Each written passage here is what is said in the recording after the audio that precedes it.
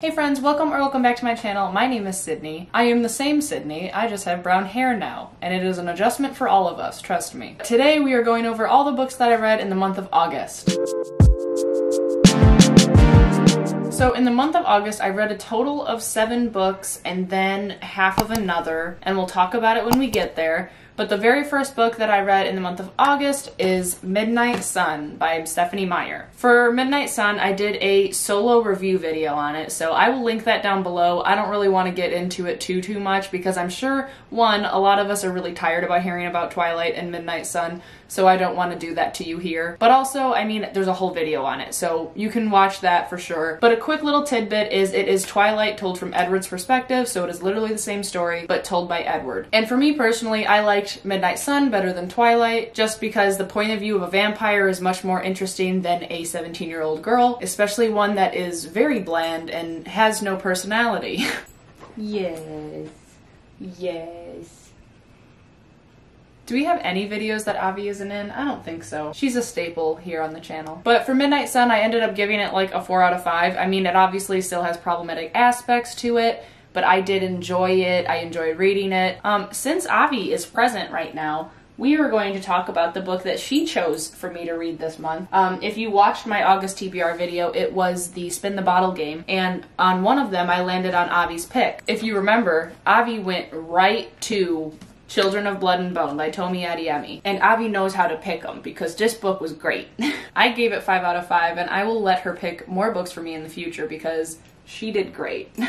So in Children of Blood and Bone, we follow Zélie. She lives in a place called Orisha, and in this kingdom, there is a ruthless king who has ordered all of the maji to be killed. maji are the people in the story who are able to wield magic, and one of the maji who was killed was Zélie's mother. And in the story, Zélie teams up with a rogue princess in hopes to bring magic back and strike against the monarchy. They must outsmart the crown prince, who is hell-bent on eradicating magic for good. This book was fantastic. Uh, like I said, I gave it 5 out of 5. It was dark, it was brutal, brutal. It was funny. It was action packed. Like I sat down and read 200 plus pages in one day, in one sitting, because I didn't want to put it down. This book made me cry. I was feeling all of the things. there were a couple parts of the plot that I was like, eh, is that what really would happen? This like with how these characters are, how you get to know them. There was a couple points where I was like, is that something that that character would really do? But like also I'm not the author so I can't really say that it's not, you know? Um, but just in my opinion there were a couple parts where I was like, eh, that doesn't sound like that character's personality or what they would do in a situation like that. However, that didn't stop me because there were so many plot twists and they were so good. I don't know, man. This was just really good. I really enjoyed it. And I'm so excited to pick up the second book, which is Children of Virtue and Vengeance, which Molly gifted me a little bit ago, which I'm so excited for. Thank you, Molly. I love you. And I'm very excited to pick that up soon. And I am so stoked that Avi decided to choose this book for me last month month. The next two books that I read were The Tea Dragon Festival and The Tea Dragon Tapestry. Now on NetGalley, I got approved for the arc of Tea Dragon Tapestry, and I was immediately like, oh, I haven't even read the second one yet. So obviously I had to read the second one, and then I was able to read the third one. And I was so pleasantly surprised. I read the first one, The Tea Dragon Society, and I, I liked it. I thought it was very cute but I felt like the story didn't really give me much. Like I was left wanting a lot more. So I ended up giving that one like a 3 out of 5. Um, which is still good. Like, it was adorable. It was really hard to give it anything lower than that because the illustrations are just so beautiful and the little tea dragons are so stinking cute. But the story was lacking in that first one, in my opinion. I don't know if you can hear my cat, but she's saying hello in the background. She's playing with her toy. She has a little blue ball and she's just having a great time downstairs. but the progression of the Tea Dragon Society into the Festival and Tapestry book, we got to learn so much more about each character. Like, each character arc got really developed, and we were able to really get to know them a little bit better. I absolutely loved seeing that sign language was incorporated into the stories. I took a couple classes of sign language in college as an elective, and it is a goal of mine to become fluent in American Sign Language. So I just really loved seeing that, and also I just I just want to adopt a Tea Dragon for myself. They're so freaking cute. I don't think I said it yet. I gave both of these books like a 4.5 out of 5. I really enjoyed him and I thought that the progression of the story was really beautiful. The next book I read this month was the book club pick of the month for the Crusty Club Book Club hosted by ChanelleTime and that was Radio Silence by Alice Oseman. Guys, this book was so good. I am upset that it took me so long to read it because it's probably one of my favorite books ever now, which I wasn't exactly expecting because if you remember, two months ago now. In July, I read Solitaire and I didn't like it at all. I gave it like a two out of five. I mean, I liked some aspects of it, but I really didn't enjoy it that much. But Radio Silence, like, it's a five out of five for sure. I read this during my last 24 hour reading vlog, and I will put that down below too if you want to check it out. But Radio Silence was just, it was so good. Oh, I guess I'll tell you what it's about. Okay, so in Radio Silence, we followed Frances, and she is really obsessed with this podcast called Universe City. She's been a fan of that podcast since it began, and she's drawn little like doodles for it, posted it to her Tumblr page, and one day the creator of the podcast messages her and asks if she would want to make illustrations for the videos. But then, through certain situations, she finds out who the creator of the podcast is, and they end up becoming friends but also obviously a lot of other things happen. This this story has a lot of moving parts and I really loved how they all ended up coming together. And there's just like this mystery aspect of like what's really going on. There's just a lot of intrigue. Like this is just it's so good. It was a really good book. It was a really quick read. Obviously I read it in one day and it's really really good.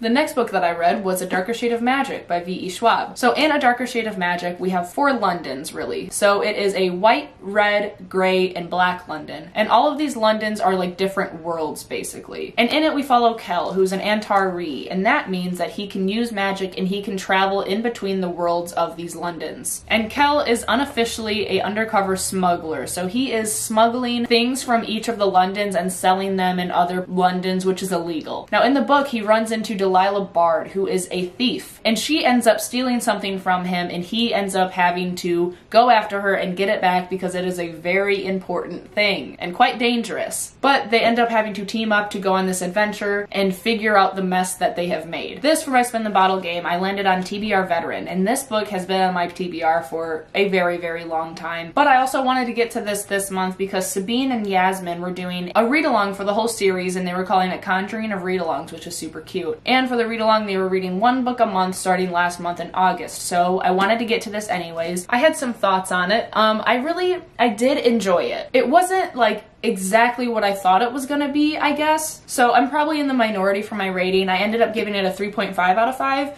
which in my book is still like a good rating. Like it still means that I really enjoyed the book. It just wasn't everything for me. You know, it didn't do everything that I really loved to see. I feel like it was a little bit of a slow burn, um, had some slower parts to it, and I was kind of expecting it to be a little bit more action packed, I guess.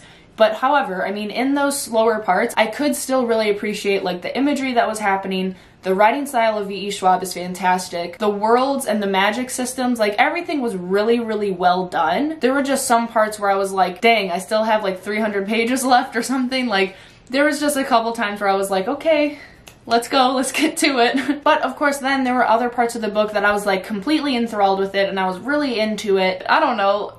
I don't know how to describe it. Like, it just has that feeling in my heart where it's like, it's not quite a four or a five, you know? Like, it's just sometimes you, you just have to go with your, your gut and your heart. That's this rating for me, is a 3.5. And I'm comfortable with that. Um, I'm still gonna continue with the series. I am interested in seeing, like, where it goes. But yeah, please don't hate me. the next book that I read was Thunderhead by Neal Shusterman. Five out of five. I have, like, zero bad things to say about this book and this series in general. This series is just so good. It is so unique and dark darkly intriguing. It's action packed, and the narrator for this series is absolutely phenomenal. He literally sounds like he should be narrating a dystopian story. My only issue with this book is how on edge and angry I was at the way that it ended. It was such a cliffhanger, it took all of my strength to not go pick up the toll right away and finish the series. And like I could have, but I had other things that I needed to get to that month. So I mean, you know, willpower. I don't have much of it, but I used it.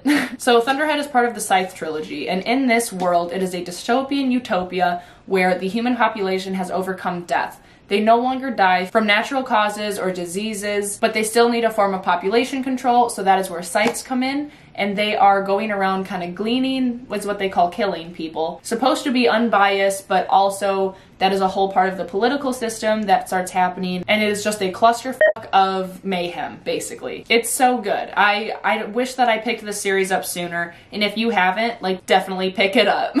Okay, I have one, two-ish books to talk about really quick. So another one that I started reading this last month was Split Tooth by Tanya Tagaq. And this book I picked up because my bottle landed on reading a book by an indigenous author. And this book is very powerful. So it says that this book goes between fiction and memoir, myth and reality, and poetry and prose and in it we follow a girl who grows up in Nunavut in the 1970s. It says she knows the tedium of the everyday world and the raw, immoral power of ice and sky, the seductive energy of the animal world, she knows the ravages of alcohol and violence at the hands of those she is, should be able to trust. She sees the spirits that surround her and the immense power that dwarfs all of us. When she becomes pregnant, she must navigate all of this. So, this book, I am about halfway done with it. I ended up not being able to finish it yet. I started reading it in that 24 hour reading vlog that I finished Radio Silence in, and my plan was to knock this one out too, but let me tell you where I'm at. So, with this book, Tanya Tagaq's writing style is so unique. It is raw, it is poetic, it is powerful and the story itself is also super powerful. However, the content matter in the story is very, very dark, and it does have trigger warnings of rape, abuse, alcoholism, and those are things that you have to consider before picking it up for sure. The reason why I haven't finished it yet is because while I was reading it during that time period of the reading vlog,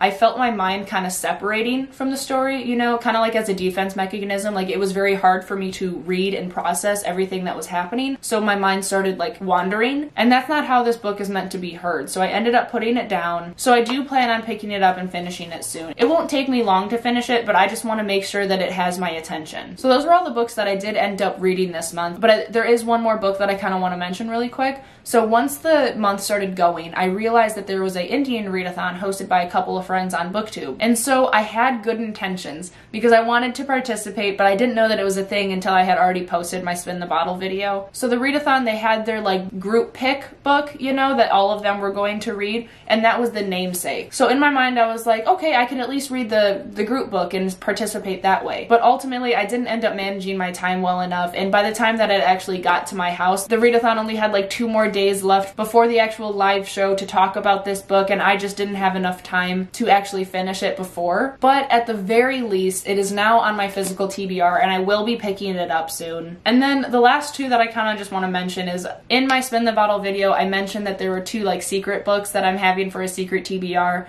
Um, I didn't get to those either. Uh, August was a weird month. It was very hard for me to focus on reading, so I obviously didn't get to any of the books on my secret TBR, just the ones that you guys know about. So those two mysterious books are still on my secret TBR, and I will get to them as soon as I can. But now it is September, and I am already behind on my September reads, so we are not doing well, friends. but that is all I have for you today, so thanks so much for watching. Don't forget to subscribe, like the video, I appreciate your support, and as always, be kind to one another and happy reading.